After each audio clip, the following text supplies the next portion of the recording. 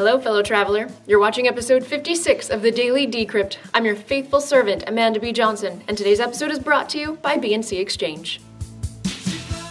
The Bitcoin core development team has announced a series of changes they intend to push within the next three to six months. With a stated goal of increasing Bitcoin's processing capacity, the main change will be a soft fork called Segregated Witness. Nodes running the Bitcoin Core client are currently estimated at 90% of the Bitcoin ecosystem.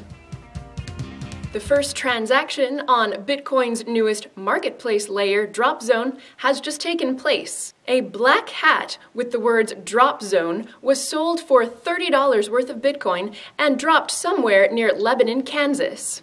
The buyer reports that the hat seller was quick to make the invoice and has left him an A rating. Public service announcement time. An email exchange has been published today on Reddit, which shows the exchange BTER having made off with about $30 worth of somebody's cryptocurrency deposit. Reports such as this preceded the massive exit scam of Mt. Gox and what is looking to potentially be another at Cryptsy. The theft reported on BTER regards 34 ish counterparty tokens, and you can see them listed for tracking in the blockchain transaction in the description.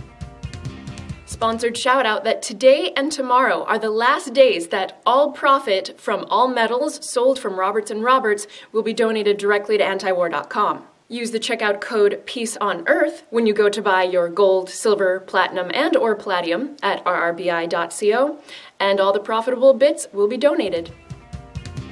Mist is an open source browser meant for the deployment of decentralized applications on the Ethereum blockchain. Much the way Firefox, Chrome, and Opera search the world of HTTP, the Mist browser searches the world of Ethereum dApps. Blogger Fav has released this video showing how developers can download, install, and begin experimenting with the new browser. The Daily Decrypt is happy to report that we now have a BitShares lifetime membership.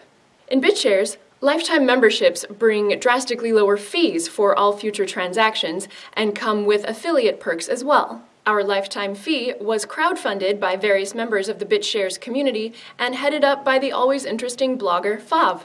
Thanks, guys. Today's episode is brought to you by B&C Exchange. Upon launch, it will be web based, decentralized, and use multi signature addresses, eliminating single points of failure, so you don't have to deal with BTER. Learn more about them at bcexchange.org.